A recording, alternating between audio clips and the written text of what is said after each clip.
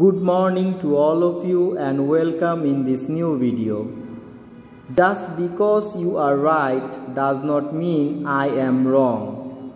You just haven't seen life from my side. Just because you are right does not mean I am wrong. You just haven't seen life from my side. Yes, one cartoon is saying that this number is 6, but another cartoon is saying that this number is 9. Yes, none of them are wrong, both of them are correct, but still they are fighting with each other.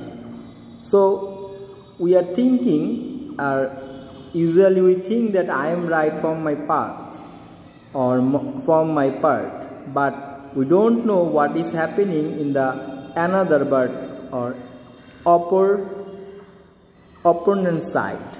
So it is very important we have to uh, be a big mind-hearted person because we have to uh, develop we have to accept the opponent's words also. What they are saying that is also important and we should respect opponent opinion this is a very important message for each one of our life.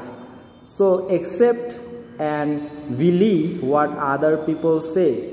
But just not look at your part, but you have to be um, see the other person part or perspectives also.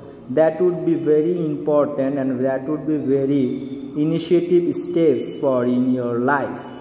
So I hope all of you understood. Thank you for being with us. Have a wonderful day. Wait for the upcoming new videos.